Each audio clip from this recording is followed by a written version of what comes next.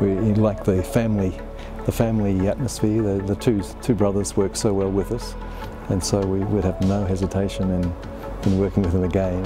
We found they work so well with the committee as well in a body corporate situation. That's really important for the committee to be very, very happy.